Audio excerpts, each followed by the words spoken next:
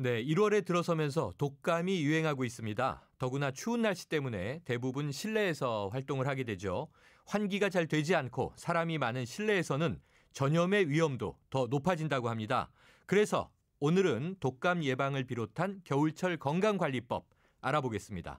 아주대학교 병원 가정의학과 주남석 교수 연결돼 있습니다. 교수님 안녕하십니까? 안녕하십니까. 네, 이 겨울이 되면 유난히 감기에 많이 걸리는데요. 이 추운 날씨와 연관이 있는 건가요? 네, 감기는 아주 다양한 원인 바이러스가 있고요. 네. 어, 기온이 떨어지는 환절기부터 겨울철까지 이 외부 온도에 따른 우리 몸의 적응력 및 면역 기능이 어, 떨어지는 것과도 연관이 있다고 알려져 있습니다. 네, 그렇군요. 요즘 유행하고 있는 이 독감, 독감이라고 할 때 일반인들은 보통 독한 감기 아니냐 이렇게 인식하는 경우가 많은데 이 독감과 감기가 다르다면서요? 네, 흔히 감기와 독감을 어, 좀 혼동하는 경우가 많은데요. 네. 본질적으로 다른 병입니다. 아하. 어, 즉 어, 병을 일으키는 원인 바이러스가 다릅니다. 네. 어, 감기는 말씀드린 대로 어, 리노 바이러스 등 다양한 원인 바이러스와 관련이 있다고 알려져 있고요. 네. 독감의 경우에는 아시는 것처럼 인플루엔자 바이러스가 그 원인이라서 증상도 다릅니다. 음.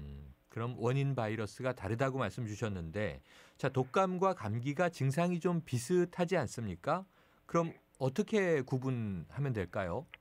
네, 흔히 우리가 감기는 어, 재채기, 콧물, 코막힘 등의 코 증상이나 어, 기침, 가래 등의 기관지 증상, 또 목이 아플 수 있습니다. 네. 이런 이런 증상들이 며칠 정도 지속이 되다가 호전이 되는 경우가 많고요. 그러나 독감의 경우에는 어, 갑자기 시작된 발열, 어, 오한, 두통, 근육통, 권태감 등의 전신 증상과 함께 네. 어, 기침, 인후통 등의 호흡기 증상이 동반됩니다. 아, 그리고 발열은 24시간 이내에 어, 38에서 41도까지 급격하게 증가할 수 있고요. 네.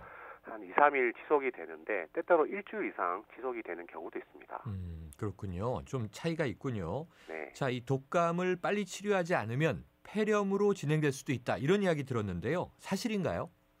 예, 그렇습니다. 어, 독감이 감기와 어, 다른 아주 중요한 포인트가 바로 어, 방치할 경우 폐렴과 같은 합병증이 생길 수 있습니다. 네. 어, 특히 65세 이상의 노인이나 어, 심장, 폐, 어, 콩팥 질환자나 어, 당뇨 등의 만성 질환이 있는 경우나 음, 임산부 5세 이하 미만의 소아에서도 흔하기 때문에 어, 이런 분들을 예방 접종 우선 대상자로 분류를 하고 있고요. 네. 이런 분들은 좀 더 각별한 주의가 필요합니다. 네. 자, 흔히요.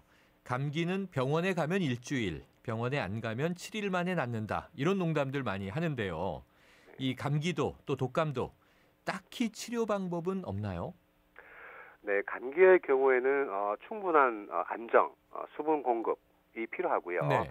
또 증상에 따른 대책요법 이 필요합니다. 네. 그런데 독감의 경우에도 사실 이런 대책요법이 필요하지만 네. 어, 인플루엔자 바이러스를 검사상 확인이 된 경우에는 음, 항바이러스제를 어, 증상 발현 48시간 이내에 투여를 할 경우에는 네. 어, 증상 기간을 한 50%까지 단축시킨다고 알려져 있습니다. 네. 제가 이 농담을 뭐 병원에 가면 일주일, 안 가면 7일 이런 말씀 드렸습니다만 어쨌든 좀 증상이 느껴지면 병원에 가서 진찰을 통해서 이 확정을 받는 게 제일 중요하겠죠. 아, 그렇습니다. 네. 아, 그렇군요. 자, 이 독감 예방 접종이요. 저도 올 초겨울에 맞았는데 독감이 유행하기 전에 맞아야 효과가 있다. 이렇게 들었어요. 그러면 네. 지금 유행하고 있을 때 맞는 거는 효과가 없는 건가요? 아, 그렇지는 않습니다. 대개 어, 예방 접종의 효력은 어, 접종 후 2주 후에 나타나기 때문에 네. 유행 시기 이전인 대개 9월에서 11월 사이에 접종하는 것을 권고는 하고 있지만 네. 이 시기를 놓친 경우에 놓친 경우 유행 시기 지금 12월에서 2월 정도에도 예방 접종 우선 대상자는 음, 예방 접종을 해도 괜찮습니다. 그렇군요. 이 지금 유행 중에도 괜찮다. 그러면은 혹시 독감이 한번 걸렸다 나으면 그러면 접종을 안 해도 되나요? 아, 그런 건 아닙니다. 매년 독감 유행 바이러스가 네. 어, 형태가 약간 변할 수 있기 때문에 매년 어, 접종하는 것을 권고하고 있습니다. 아, 매년 접종을 권고한다. 그러니까 해마다 유행하는 또 이 바이러스가 조금씩 변종이 등장하는 거죠? 그렇습니다. 네. 아, 그렇군요. 자, 이게 비타민 C를 많이 먹으면 감기 예방이 좋다. 이런 이야기들이 많이 돌아요. 그래서 겨울에 특별히 좀 비타민을 챙겨 드시는 분들이 계시던데 이건 효과가 정말 있는 겁니까? 어, 비타민 C는 어, 어, 항바이러스 효과가 어느 정도 있는 있는 걸로 알, 알려져 있기 때문에 네.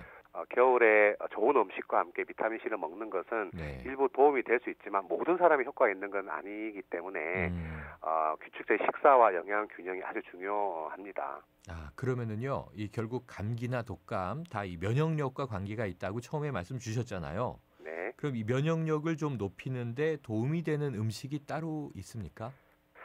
네, 먼저 어, 이 면역 기능을 떨어뜨리는 식사 어, 패턴이 좀 기름지거나 네. 그다음에 정제된 탄수화물을 많이 먹게 되면 이런 면역 기능을 억제하는 호르몬이 많이 나오기 때문에 네. 외부 환경에 대한 우리 몸의 불균형을 좀 초래할 가능성이 있기 때문에 되도록이면 줄이시면 좋겠고요. 네. 말씀하신 것처럼 비타민, 미네랄 등을 이 풍부한 이런 야채라든지 질 좋은 단백질을 골고루 섭취하는 것이 좋겠습니다. 네. 그 골고루 섭취하는 게 중요하군요. 균형이 네. 중요한데 자, 이 교수님 한 가지 또 궁금한 게 겨울철에 감기나 독감에 굉장히 민감한 분들이 임산부들이잖아요. 네, 이분들이 또 감기나 독감에 걸려도 약을 쉽게 먹을 수 없지 않습니까? 네, 네. 임산부들이 감기에 걸렸을 때 좀 어떻게 대처하는 게 좋은가요?